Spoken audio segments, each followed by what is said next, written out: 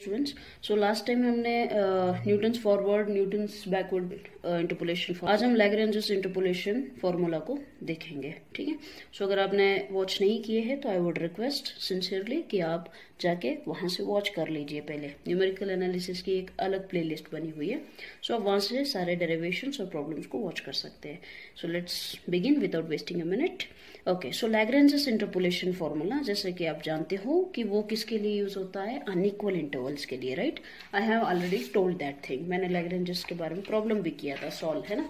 तो आपको उसमें मैंने बताया था कि अनइक्वल इंटरवल्स क्या होते हैं। उनके लिए हम लैग्रेंजस इंटरपोलेशन को यूज़ करते हैं। आप जानते हो कि न्यूटन्स फॉरवर्ड और न्यूटन्स बैकवर्ड दोनों इक्वल इंटरवल्स के लिए यूज़ होते हैं। तो क्वेश्चन आ जाता है इंटरपोलेशन फॉर्मूला अब इक्वल इंटरवल और अनइक्वल इंटरवल क्या होते हैं? अगर आपको नहीं पता है तो just I just show you with example देखिए, अगर मैं यहाँ पे कोई वैल्यूज़ लेती हूँ वन टू थ्री और एक्स के करस्पॉन्डिंग कुछ वाई की वैल्यूज़ है they can be five six seven no problem okay five eight seven यहाँ इक्वल होना ज़रूरी नहीं है। बट ये जो नंबर है एक्स की वैल्यूज़ जो है स्पेशली एक्स की वैल्यूज़ जो है एक, दो, तीन। यानी कि दो वैल्यूज़ के बीच का डिफरेंस हमेशा सेम होना चाहिए। देन वी से अगर सेम हो तो उसे हम I hope you got this point जैसे आपको एक टेबल, आप टेबल बनाते हो ना तो उसमें से देखो एक्स की वैल्यूज़ वाई की वैल्यूज़ होती है। कुछ बुक्स में ऐसे देते हैं और कुछ बुक्स में ऐसे दे देते हैं एक्स और वाई की वैल्यू तो जो ये वैल्यू है, उन एंट्रीज उन एंट्रीज के बीच का डिफरेंस जो होता है दैट शुड बी इक्वल उस टाइम उस वक्त हम उसे क्या कहेंगे? इक्वल इंटरवल इंटरवल कहेंगे राइट ऐसे टाइप को। और अगर एक्स की वैल्यूज़ मानो कि हमें वन फाइव सेवन टेन, कुछ ऐसे दे दी। तो आप देखिए, इसके बीच का डिफरेंस क्या है? Five minus one four five और सेवन का डिफरेंस सेवन और इसका थ्री मतलब कि क्या है? ये जो डिफरेंस आ रहा है, जिसको हम यूजुअली फॉर्मूला में किससे डिनोट करते हैं? हेच है ना? तो वो डिफरेंस अगर अलग अलग आ रहा है डिफरेंट आ रहा है, यहाँ देखिए वन आ रहा है, यहाँ भी वन है। अगर मैं आगे और फोर फाइव लिखूँ फोर फाइव तो यहाँ भी आपको डिफरेंस क्या है? दोनों के बीच में वन ही मिल रहा है। That is not an issue है ना? तो तब हम इक्वल कहते हैं लेकिन यहाँ डिफरेंट आ रहा है। तो ऐसे इंटरवल को हम क्या कहेंगे? अनइक्वल इंटरवल्स और इंटरवल का मतलब भी आप शायद जानते होंगे अगर तो देख लीजिए। इंटरवल मतलब दो वैल्यूज़ के बीच में। अब सपोज़ मैं वन से फाइव तक लिख रही हूँ तो दिस इज़ द इंटरवल ठीक है जिसका फ़र्स्ट एंट्री वन है और uh, जो लास्ट एंट्री है एंडिंग पॉइंट है वो फाइव है। उसके बीच में हम हेच को डिफाइन कर सकते हैं कि H is equal to one मतलब कि इसके अंदर जो भी एलिमेंट्स आएँगे ना, वो सारों, वो सारे वैल्यूज़ एक दूसरे से डिफरेंस कितना होगा उनका? वन होगा. Like one two three four five इसी को मैं, इस, इन नंबर्स को ही मैंने इंटरवल लिखा है. ठीक है? तो इसको इंटरवल कहते हैं और वो इक्वल हो सकता है अनइक्वल हो सकता है. It depends on the difference I hope you got this point तो let us come to the derivation see Lagrange's interpolation formula यहाँ पे मैंने पहले ही लिख लिया है सो दैट टाइम ज़्यादा कंज्यूम नहीं होना चाहिए। एंड आप लोग अगर डेरिवेशन का डेरिवेशन uh, को अपने नोट्स में लिख लो तो और अच्छा होगा है ना? That will help you a lot so पहले हम क्या कर रहे हैं let y is equal to f of x be a function whose values are y not y one y two so on y n corresponding to x is x not x one x two so on x n not necessarily equally spaced यही जो मैंने अभी कहा कि unequal interval है ना? तो उसके बारे में बता रहे हैं। सो ये पैराग्राफ क्या कह रहा है? हमें पहले इसे y is equal to f of x y is equal to f of x को ये क्या कंसिडर कर रहे हैं? एक फ़ंक्शन है, जिसकी वैल्यूज़ क्या है? इसकी वैल्यू क्या होगी? Y not y one y two corresponding to x not value x one value x two value ठीक है? एक्स नॉट के करस्पॉन्डिंग वाई की वैल्यू वाई नॉट है वाई वन के corresponding y sorry x one के corresponding Y one है x two के corresponding x two है। इसी तरह से अगर एक्स एन लू तो उसके करस्पॉन्डिंग वाई की वैल्यू क्या होगी? वाई एन यही यहाँ पे बता रहे हैं ना। Let y is equal to f of x be a function वो एक फ़ंक्शन है, जिसकी वैल्यूज़ क्या है? Y not y one y two y n corresponding to किसके करस्पॉन्डिंग में? एक्स की वैल्यू में। वो एक्स की वैल्यूज़ क्या है? वाई नॉट के corresponding x not y one x one इस तरह से, है ना? ये वाला टेबल को ही वो लोग एक्चुअली क्या कर रहे हैं? आपको सेंटेंस में बोल रहे हैं। अब देखो, यहाँ पे मैं वन टू थ्री फोर ले रही हूँ। और अनइक्वल की बात कर रहे हैं तो आप कुछ भी ले सकते हो, कोई प्रॉब्लम नहीं है। ठीक है? So one four five seven ले लो। नो नो प्रॉब्लम एंड इसके करस्पॉन्डिंग वाई की वैल्यू कुछ भी हो सकती है। That can be two four six seven no problem so x की ये जो वैल्यूज़ है ना इनको ही हम क्या कर रहे हैं? एक को एक्स नॉट बोल रहे हैं, एक को एक्स वन बोल रहे हैं एक्स टू बोल रहे हैं एक्स थ्री बोल रहे हैं। ऑर्डर में जा रहे हैं x not x one x two x three so on x n हम क्या नेमिंग कर रहे हैं? Not y one y so x और वाई की यही वैल्यूज़ को यहाँ पे वो एज्यूम कर रहे हैं, बता रहे हैं। जो हम प्रॉब्लम्स में देखते हैं ना, वही same thing so since there are n plus one pairs है ना? एन प्लस वन पेयर है। एन प्लस वन पेयर कैसे देखो पेयर का मतलब क्या है? एक्स कामा वाई को बोलते हैं ना? पेयर यानी कि ऑर्डर्ड ऑर्डर्ड पेयर जो बोलते हैं मोस्टली हम क्या करते हैं, यहाँ पे देखो दो ही एलिमेंट ले रहे हैं ना, दो ही एंट्री एक्स और वाई तो अगर x y z three D में जब आप पढ़ते हो तो वहाँ पे थ्री डायमेंशन हो जाता है। That is higher level mathematics जो कि अभी ज़रूरी नहीं है आपको। ठीक है? सो एक्स कामा वाई इसको हम पेयर कहते हैं। तो यहाँ पे क्या बोल रहे हैं? एन प्लस वन पेयर है। Two y two so on x n y n अगर मैं बोलूँ तो ये कितने पेयर है? एन पेयर है ना? एक, दो, तीन, ऐसे करके एन है। अब यहाँ पे एक और एक्स्ट्रा क्या है? देखो एक्स नॉट वाई नॉट इसीलिए हम क्या बोल रहे हैं? ये एक है और one plus n n plus one pair है, ठीक? Since there are n plus one pairs कौन से है वो? X not y not x one y one so on x n y n of किसके? Values of x and y दोनों x और we can represent f of x है ना? By a polynomial in x of degree n ठीक है? यानी कि n plus one pairs है, इसीलिए हम क्या कर सकते हैं? एक पॉलिनोमियल ऐसा ज़रूर फाइंड कर सकते हैं, जिसकी डिग्री n होगी। है ना? अब आप सोच रहे होंगे डिग्री n कैसे? राइट सी आप जब भी एक्स क्यूब लिखते हो, ठीक है? तो अब यहाँ पे क्या करते हो? कुछ ऐसा लिखते हो। Right right? सॉरी आप जब भी एक क्यूबिक इक्वेशन लिखते हो तो आप क्या करते हो? Sorry I just explain see okay so degree n अब आप सोच रहे होंगे कि डिग्री एन कैसे है? देखो यार सिंपल सी बात है एक्स की सबसे हाईएस्ट पावर क्या होती है? वही उस पर्टिकुलर फ़ंक्शन की। हम एफ़ ऑफ़ सपोज़ मैं यहाँ पे लिखू एक्स टू एक्स प्लस तो आप आराम से बता सकते हो हाईएस्ट इज़ टू राइट तो दिस इज़ इस पर्टिकुलर इक्वेशन या एक्सप्रेशन हम क्या बोल सकते हैं? Is equal to zero is equal to equals लिख लिया तो इक्वेशन बन जाएगा राइट सो so, इस इक्वेशन की सबसे हाईएस्ट डिग्री टू है राइट right? तो इसी तरह से यहाँ पे एन बोलने के लिए देखो x x n y n x की सबसे हाईएस्ट पावर हम एन ही लेते हैं, ठीक है? तो इसीलिए।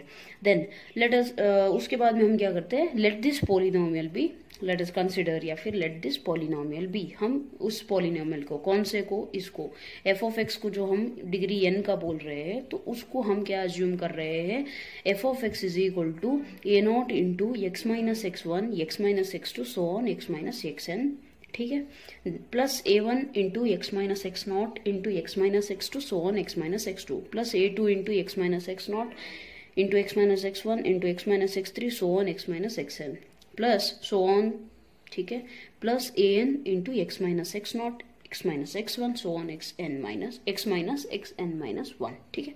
यहाँ पे इस चीज़ को आपको थोड़ा सा पड़ेगा but that's not very difficult ठीक है? आप आराम से कर सकते हो।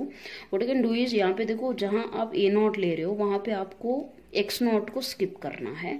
X minus x one x minus x two ऐसे आप लेते जाओ।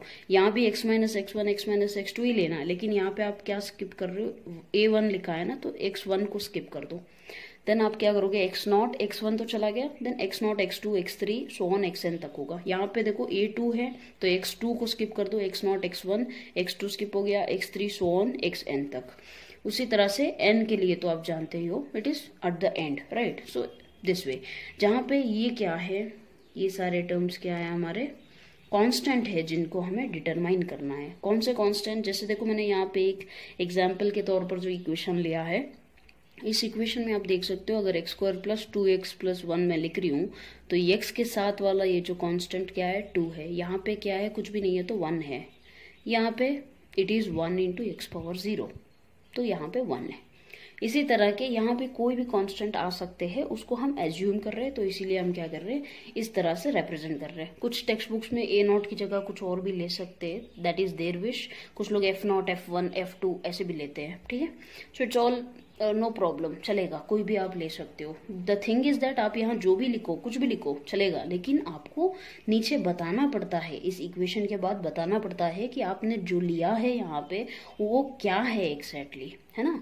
जब आप बता देते हो कि आपने फलाना चीज़ ली है a not a one a two ली है, या फिर एफ़ वन एफ़ टू जो भी लिया है आर कॉन्स्टेंट कॉन्स्टेंट है जिनको हमें डिटर्मिन ये लिखना इंपॉर्टेंट हो जाता है ओके सो देर आफ्टर उसके बाद क्या करना है? Putting x is equal to x not y is equal to y not we get यानी कि यहाँ पे जो, देखो, x minus x one x minus x two x minus x n है। तो इन चीज़ों में आप क्या कर रहे हो? जहाँ जहाँ x है, वहाँ पे आप क्या कर रहे हो? एक्स नॉट डाल रहे हो। और जहाँ y है, वहाँ पे y नॉट डाल रहे हो। अब आप सोच रहे होंगे कि y है कहाँ यहाँ पे? सी एफ़ ऑफ़ एक्स मैंने क्या बताया था? y is equal to f of x I set this ना? सो so, अगर आप एफ़ ऑफ़ एक्स लिख रहे हो या फिर वाई लिख रहे हो चलेगा। अगर आप एफ़ ऑफ़ एक्स नॉट लिख रहे हो आप वाई नॉट लिख लो। विल ओके okay, है ना? ये देखो मेन चीज़ हमने पहले ही स्टार्टिंग सबसे स्टार्टिंग में ही कंसिडर कर ली थी कि y is equal to f of x अब अगर मैं यहाँ पे एक्स की जगह वन कर दूँ तो वाई के पास भी वन होगा। सबस्क्रिप्ट में हम वन लिखेंगे यहाँ पे अगर मैं टू कर दूँ तो ये भी टू हो जाएगा। Okay so that's the meaning तो यहाँ पे हम क्या कर रहे हैं जहाँ भी वही है वहाँ पे वाई नॉट लिख रहे हैं। देन हमें क्या मिलता है? F of x not is equal to a not minus x one x not minus x two so on x not minus x n मिल जाएगा। क्यों? क्योंकि बाकी के जो आगे के टर्म्स होंगे ए वन इंटू समथिंग वहाँ पे क्या हो जाएगा? सारे के सारे टर्म ज़ीरो हो जाएँगे। आप सोच रहे होंगे कैसे? देखो, हमने एक्स की जगह पे एक्स नॉट लिया है राइट तो फ़र्स्ट टर्म को छोड़ के, जहाँ पे एक्स नॉट स्किप हो जाता है, उसको छोड़ के, बाकी हर एक इक्वेशन में हमारे पास देखो एक्स नॉट है। ठीक है, हर जगह पे है। और हमने एक्स को क्या लिया है? एक्स नॉट लिया है। तो इसलिए क्या हो रहा है? X not minus x not क्या हो जाएगा? ज़ीरो हो जाएगा। तो इसीलिए क्या होगा? सारे के सारे बाकी के टर्म्स जो है इस इक्वेशन के, वो ज़ीरो हो जाएँगे और सिर्फ़ एक बचेगा। X not is equal to a not into x not minus x one x not minus x two ऐसे लिया है, ठीक है? और ए नॉट को यहीं रखते हैं। इस चीज़ को यहाँ भेज देते हैं। तो वो कहाँ जाएगा? डिनोमिनेटर में जाएगा। आप जानते हो सिंपल सा रूल है। अगर मैं आपको यहाँ कह दूँ two x is equal to five तो एक्स आप क्या कहोगे? फाइव, ये मल्टीप्लीकेशन साइन का है तो इस तरफ़ जाएगा तो डिवाइड में ही जाएगा। राइट सिंपल चीज़ तो वही हमने यहाँ पे की है। A not into some term है। उस टर्म को हमने डिनोमिनेटर में भेज दिया है। क्यों हमने भेजा? क्योंकि हम एक्चुअल में क्या कर रहे हैं? एग्जैक्टली या डेरिवेशन में क्या कर रहे हैं? जो कॉन्स्टेंट्स हमने लिए हैं, उन्हीं को तो फाइंड कर रहे हैं। A not a one a two so on a n इन्हीं कॉन्स्टेंट्स को हम फाइंड कर रहे हैं। क्योंकि इन कॉन्स्टेंट को सब्सटीट्यूट कर दिया तो हमें हमारा रेंजेस फॉर्मूला मिल जाएगा। Right right? तो उस कॉन्स्टेंट को हम डिटरमाइन कर रहे हैं। इसीलिए हमने ए नॉट जगह पे रखा और बाकी चीज़ों को हमने शिफ्ट कर दिया।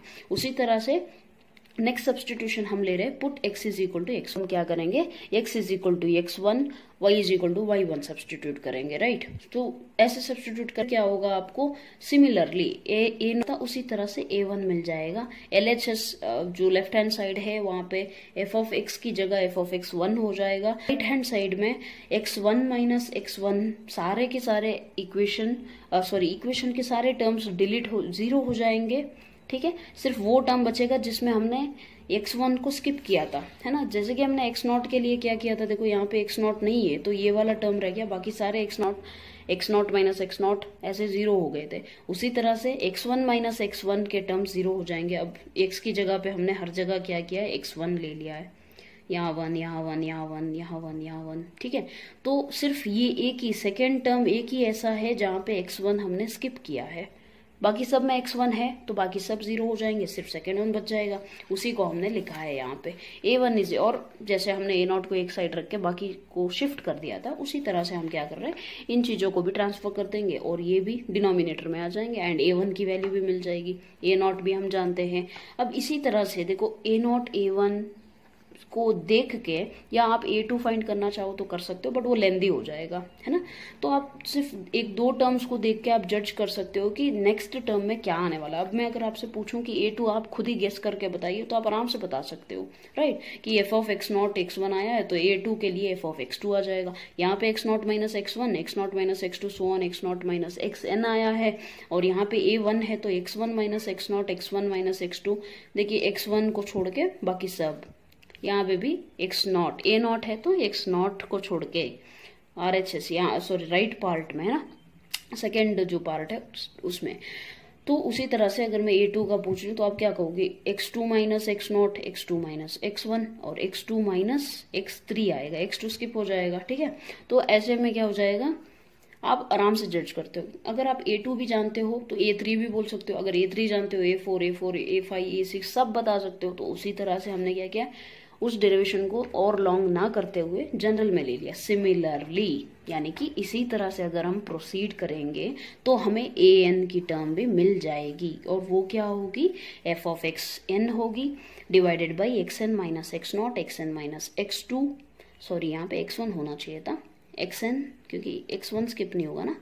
X n minus x one so on x n minus x n minus one होगा, है तो इसी तरह से क्या है ए एन भी मिल गया तो हमें जो मेन चाहिए थे, ये सारे मिल गए। अब इन सारी चीज़ों को हम क्या करेंगे substituting these values of a one a two a n we get आप चाहो तो कहाँ सब्सटीट्यूट कर रहे हो? इन इक्वेशन वन करके बोल दो और इस इक्वेशन को वन कंसिडर कर लेना, ठीक है? जो पहले वाली इक्वेशन थी, उसे वन कंसिडर कर लो, फिर यहाँ पे लिख लो in one and then we will get हम सिर्फ़ ये सारी चीज़ों को सब्सटीट्यूट कर देंगे। देखो एफ़ ऑफ़ एक्स नॉट को हमने एक साइड लिखा है। और जो डिनोमिनेटर वैल्यू है, उसको बाकी का जो न्यूमिनेटर था, उसके साथ में लिखा है राइट सो यही हमारा क्या हो जाएगा? This is known this formula is known as Lagrange's interpolation formula for unequal intervals ठीक है? So it's very simple derivation I don't think so इसके लिए ज़्यादा वक्त लेना चाहिए।